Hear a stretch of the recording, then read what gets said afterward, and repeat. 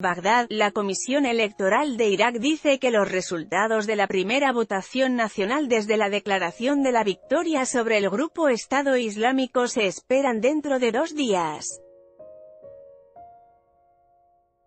La votación del sábado tuvo una participación récord baja, con el 44% de los votantes elegibles emitiendo su voto. Ninguna elección desde 2003 hectáreas tenido una participación inferior al 60%, más de 10 millones de iraquíes votaron.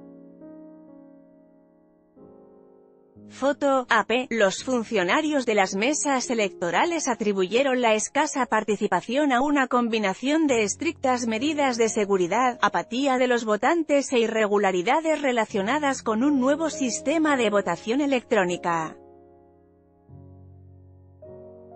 El primer ministro iraquí, Haider al-Abadi, corre para mantener su puesto, sus principales rivales son los partidos políticos con vínculos más estrechos con Irán, así como el influyente clérigo Muqtada al-Sadar, un firme nacionalista que hizo campaña contra la corrupción gubernamental.